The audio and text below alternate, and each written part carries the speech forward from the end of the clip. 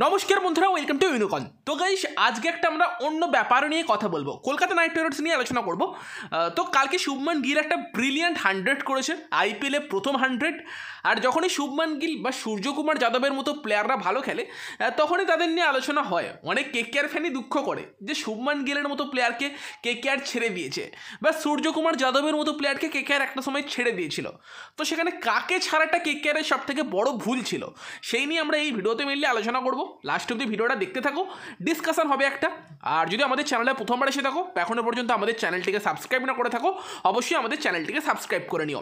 আর তার সঙ্গে সঙ্গে আজকে লখনৌ বনাম মুম্বাইয়ের মধ্যে একটা দুর্দান্ত ম্যাচ হতে চলেছে। আর সেই ম্যাচটার জন্য কিন্তু রিয়েল ইলেভেন অ্যাপে ফিফটি থাউজেন্ডের ফ্রি গিভাওয়ে চলছে। তোমরা ফ্রি কন্টেস্টে জয়েন করে সেটা জিততে পারো। আর তার সাথে রিয়েল ইলেভেন অ্যাপে কিন্তু লুডো খেলেও তোমরা বারো লাখ টাকা অবধি জিততে পারো। লুডো খেলেও এখানে কিন্তু জেতার একটা দুর্দান্ত কন্টেস্ট চলছে। যেখানে তোমরা বন্ধুদের ইনভাইট করেও আর্ন করতে পারবে এবং ইনস্ট্যান্ট উইথড্রলও করতে পারবে। অত যদি আমরা মেন টপিকে ফিরে আসি তো প্রশ্নটা হচ্ছে যে সূর্যকুমার যাদব নাকি শুভমান গিল? কাকে ছাড়া কলকাতা নাইট রাইডার্সের সব থেকে বড় ভুল ছিল? তো দেখো পার্সোনালি আমার মনে হয় সেটা কিন্তু শুভমান গিল। তো যদি তোমরা দু হাজার টাইমের কথা ভাবো, যেই সময় সূর্যকুমার যাদব কে কে আর ছেড়ে মুম্বাইতে গিয়েছিল, সেই সময় obviously Suryakumar Yadav K K R টিমের একটা গুরুত্বপূর্ণ সদস্য ছিল কে কে আর টিমের ভাইস ক্যাপ্টেনও ছিল। তবে ওভারঅল কিন্তু সূর্যকুমার যাদবকে দেখে কখনোই এক্সেপশনাল কিছু মনে হয়নি বা কে কে আর টিমের হয়ে সেরকম কিছু সূর্যকুমার যাদব করতেও পারেনি। কারণ সূর্যকুমার যাদব বেশিরভাগ ক্ষেত্রেই কিন্তু লাস্টের দিকে ব্যাট করতে আসতো। কে কে টিমে তখন এত আর কি টপ অর্ডার ব্যাটসম্যান ছিল যে সূর্যকুমারকে কিন্তু ওপরের দিকে তিনে বা চারে খেলানোও যায়নি। তো সেখানে যদি দু হাজার সতেরোর সময়কার কথা ভাবো, সেই সময় কিন্তু কে কে টিমে প্রচুর টপ অর্ডার ব্যাটসম্যানও ছিল। গৌতম গম্ভীর ছিল ক্রিসলিন সুনীল নারায়ণ ওপেন করতো দেন মনীষ পান্ডে ছিল, রবীন্দ্র থাপ্পা ছিল। তো সেখানে কিন্তু সূর্যকুমার যাদব বেশিরভাগ সময় ওই ছয়ে বা সাতে ব্যাট করতে আসতো এবং একটা ছোটোখাটো ইনিংস খেলে চলে যেত। সেখানে তার মধ্যে পোটেন্সিয়াল থাকলেও তার সেই পারফরমেন্স কিন্তু কে কে আরে আসেনি। সেই কারণে কে কে আর তাকে পরবর্তীকালে ছেড়ে দিলেও সেরকম কিছু মনে হয়নি। যতক্ষণ না সে মুম্বাইতে গিয়ে পারফর্ম করা শুরু করেছিল। তার কারণ সেই সময়, তার আগের বছর মানে দু হাজার সতেরোতেই আই থিঙ্ক নীতিশ রানা কিন্তু মুম্বাই ইন্ডিয়ান্সের জার্সি গায়ে দুর্দান্ত খেলছিল। কে কে আরকে একটা ম্যাচ এক হাতে হারিয়ে দিয়েছিল যেরকম মনে পড়ে। এবং সেই সময় কিন্তু সূর্যকুমার যাদবকে ছেড়ে ওই জায়গায় নীতিশ রানাকে নিয়েছিল কে কে আর এবং কে কে আর থেকে সূর্যকুমার মুম্বাইতে গিয়েছিল। মুম্বাই থেকে নীতিশ রানা কিন্তু এসেছিল কে কে আরে এবং যতক্ষণ না মুম্বাইতে গিয়ে এক্সেপশনাল খেলা দেখানো সূর্যকুমার শুরু করেছিল, ততক্ষণ পর্যন্ত ওটাকে খারাপ ডিল কিন্তু মনে হয়নি। নীতিশ রানাও কিন্তু কে কে আরের হয়ে দারুণ খেলেছে ওভারঅল দেখতে গেলে কিন্তু। নীতিশ রানা ইন্ডিয়ানদের মধ্যে সব থেকে বেশি ছয় মেরেছে কে কে আরে ইউসুফ পাঠানকেও টপকে গিয়েছে, প্রচুর রানও করেছে, এখন বর্তমান সময়ে কে কে আরকে লিডও করছে। তো ওভারঅল দেখতে গেলে দেখো, কিছু তো করার থাকে না। একটা প্লেয়ার যদি একটা টিমে পারফর্ম না করতে পারে, অন্য টিমে গিয়ে পারফরমেন্স দেয়। সূর্যকুমারকে ঠিক জায়গায় কে কে আর খেলাতেও পারেনি। সেক্ষেত্রে আই থিঙ্ক সূর্যকুমারের ডিলটা কে কে আর থেকে মুম্বাইতে যে গিয়েছিল, সেটা নিয়ে বিশেষ কিছু দুঃখ করার কারণ নেই। হয়তো মুম্বাইতে গিয়েছিল বলেই সূর্যকুমারের এই খেলাটা আমরা দেখতে পেয়েছি। কে কেরে থাকলে হয়তো নাও বেরোতে পারতো খেলাটা। যে জায়গায় সে ব্যাটিং করতো। তো সেখানে ওভারঅল আই থিঙ্ক বলতে গেলে সূর্যকুমার যাদবকে যে কে কে আর ছেড়ে দিয়েছিল, সেখানে কিন্তু বিশেষ কিছু বলার জায়গা ছিল না। ম্যানেজমেন্টকে বিশেষ দোষারোপের জায়গাও ছিল না। অ্যাকচুয়ালি কে কে আর হয়ে যে প্লেয়ারটা সব থেকে ভালো পারফর্ম করেছিল, তার নামটা কিন্তু ছিল মনীষ পান্ডে। সেই মনীষ পান্ডেকেও কে কে আর সেই সময় রিটেন করতে পারেনি, তাকে ছেড়ে দিতে হয়েছিল।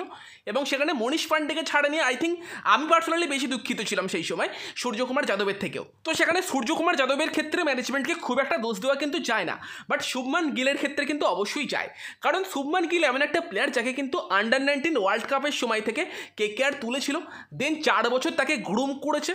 করে যেই সময় তার পিক খেলাটা আসতো, সেই সময় শুভমান গিলকে কে কে আর রিলিজ করে দিয়েছে। আর তার ফায়দাটা কিন্তু এখন গুজরাট টাইটান্স নিয়ে যাচ্ছে। কারণ শুভমান গিল, দেখো, হয়তো কে ক্যারোডে এক্সেপশনাল কিছু শুভমান গিলও করতে পারেনি বাট কে ক্যারোডে আই থিঙ্ক দু হাজার কুড়ি আর দু হাজার একুশ সিজনে Shubman Gill highest run getter ছিল, হয়তো তার স্ট্রাইক রেট মারাত্মক কিছু থাকতো না বাট সে কিন্তু কনসিস্টেন্টলি রান করতো, আর শুভমান গিল এমন একটা প্লেয়ার যাকে কিন্তু প্রথম থেকেই জেনারেশনাল ট্যালেন্ট মনে হয়েছিল, বিরাট কোহলির মতো প্লেয়ার যখন শুভমান গিলের উনিশ বছর বা কুড়ি বছর বয়স তখন বলেছিল যে, আমি যখন শুভমান গিলের মতো বয়সে ছিলাম, শুভমান গিলের টেন পার্সেন্টও ছিলাম না, কোহলির মতো প্লেয়ার যখন এরকম কমপ্লিমেন্ট দেয়, তখন বোঝা উচিত যে, সেই প্লেয়ারটার মধ্যে ট্যালেন্ট আছে সেই প্লেয়ারটার মধ্যে স্কিল সেট আছে সেই লেভেলে খেলার। ইভেন কালকে শুভমান গিল সেঞ্চুরি করার পরও কিন্তু বিরাট কোহলি তাকে নিয়ে একটা মানে ভীষণই সুন্দর স্টোরি দিয়েছে যে নেক্সট জেনারেশনকে লিড করো। তো সেখানে ওভারঅল শুভমান গিলের যে পোটেন্সিয়াল আছে সেটা দেখা যাচ্ছে এখন এবং সেখানে তার মতো প্লেয়ারকে ক্যারিয়ার ছেড়ে দেওয়াটা হয়তো ঠিক সিদ্ধান্ত ছিল না। এবার রিটেনশনের দিক দিয়ে দেখতে গেলে ম্যানেজমেন্টের কাছে এটাও মাথা ব্যথার কারণ ছিল যে কাকে ছেড়ে কাকে রাখবে। কারণ ভেঙ্কটেশ আর হাফ মরসুম খেললেও যে খেলা দেখিয়েছিল সেই খেলা দিয়ে সে কিন্তু কে কেয়ারকে প্রায় আইপিএল ফাইনালে নিয়ে গিয়েছিল। এবং তার সঙ্গে সে অলরাউন্ডার ছিল। যেই জিনিসটা খুব একটা ইন্ডিয়ানদের ক্ষেত্রে পাওয়া যায় না। ফাস্ট বোলিং অলরাউন্ডার যে ওপেন করে, একটা আলাদা লেভেলের তার মধ্যে খেলার ঝলক দেখা গিয়েছিল। সেই কারণে ভেঙ্কটেশকে রিটেন করেছিল ম্যানেজমেন্ট ভরুণ চক্রবর্তীও সেই মরশুমটা ভালো করেছিল। দু হাজার বাইশটা ভালো করতে পারেনি। দু হাজার তেইশে আবার ভালো করছে। কে ক্যারেট হয়ে সেরা বোলার সে। তো সেখানে যে রিটেনশানগুলো করেছিল, সেইগুলো নিয়েও প্রশ্ন তোলার হয়তো জায়গা ছিল না। তবে আমার পার্সোনালি মনে হয়েছিল যদি কলকাতা নাইট রাইডার্স সেই সময় যদি আর কি শুভমান গিলকে রিটেন করতো ভরুণ চক্রবর্তীকে যদি অকশান থেকে নিত, তাহলে হয়তো সাত আট কোটির মধ্যে ভরুণ চক্রবর্তীকে পেয়েও যেতে পারতো।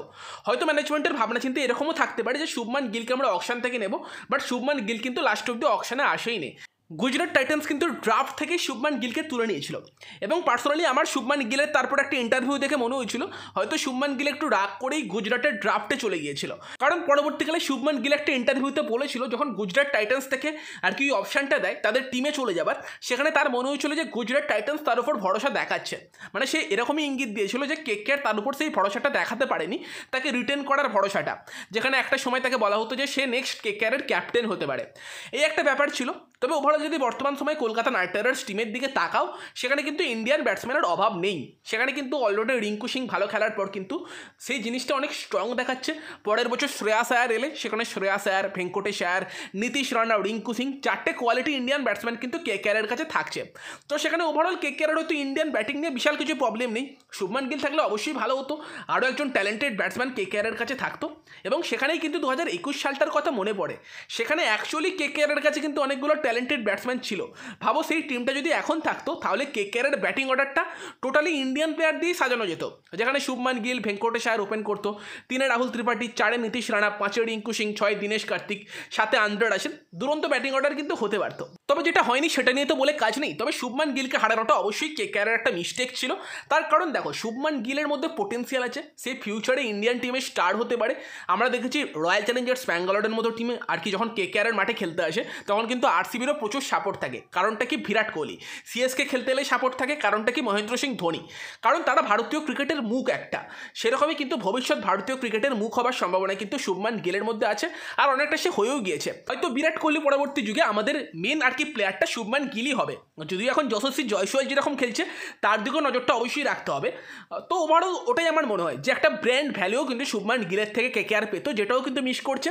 তবে ওভারঅল এই সময় দাঁড়িয়ে কে কে আর টিমের দিক দিয়ে কথা বললে কে কে আর কিন্তু ইন্ডিয়ান ব্যাটিং মোটামুটি রেডিই আছে। সেখানে হয়তো যদি কে কে আর একটা ভালো উইকেট কিপার ব্যাটসম্যান তুলতে পারে ইন্ডিয়ানদের মধ্যে, সেখানে কিন্তু কে কে আর ইন্ডিয়ান ব্যাটিং নিয়ে কোনো প্রবলেম থাকবে না। তবে তারপরও যখন শুভমান গিল এরকম এক্সেপশনাল ইনিংসগুলো খেলবে কে কে আর ফ্যানাদের তো একটু হলেও খারাপ লাগবে, এটা বলাই যায়। যদিও বেশিরভাগ কে কে আর ফ্যানই এখন মুভ অন করে গিয়েছে, দুটো মরসুম হয়ে গিয়েছে শুভমান গিল গুজরাটে খেলছে। তবে তারপরও তোমরা যারা কে কে আর ফ্যান আছো, তাদেরকে একবারও মনে হয় না, ইস, যদি শুভমান গিল কে কে আরে থাকতো, কত ভালোই না হতো। তোমাদের মতামত কমেন্টে জানিও। বাকি রিয়েল ইলেভেন অ্যাপে তোমরা তোমাদের মতামত শুধুমাত্র ইয়েস নোতে জানিয়ে কিন্তু আর্ন করতে পারো। যেমন আজকে গিয়ে মুম্বাই লখনৌয়ের বিরুদ্ধে সাতখানা ছয় মারবে। তোমাদের কি মনে হচ্ছে? হ্যাঁ নাকি না? তোমাদের মতামত দিয়ে তোমরা দশ লাখ অব্দি জিততে পারো। আর এরকম অনেক প্রশ্ন তোমরা অ্যাপেও পেয়ে যাবে। যেরকম প্রশ্ন আছে যে আজকে কি লখনৌ জিততে পারবে? বা আজকের ম্যাচে যে টিম টস জিতবে, তারা কি ফার্স্টে ব্যাটিং করবে? বা মানেন ভোড়া কি আজকে প্লেইং ইলেভেনে থাকবে? তোমাদের মতামত ইয়েস নোতে জানিয়ে তোমরা এখান থেকে জিততে পারো। আর বাকি আজকের ম্যাচের জন্য আমার ফ্যান্টাসি টিম কেমন হতে পারে, সেটাও আমি স্ক্রিনে দিয়ে দিচ্ছি। তো চলো গাই সেই ভিডিওতে এইগুলোই জানানোর ছিল। যদি ভিডিওটা ভালো লাগে, তো ভিডিওটাকে অবশ্যই লাইক করে দিও শেয়ার করে দিও। আমাদের চ্যানেলে প্রথমবার এলে অবশ্যই আমাদের চ্যানেলটিকে সাবস্ক্রাইব করে, তার পাশের বেল আইকনটাকে অন করে দিও। তো চলো গাই সেই ভিডিওতে এই পর্যন্তই। Bye bye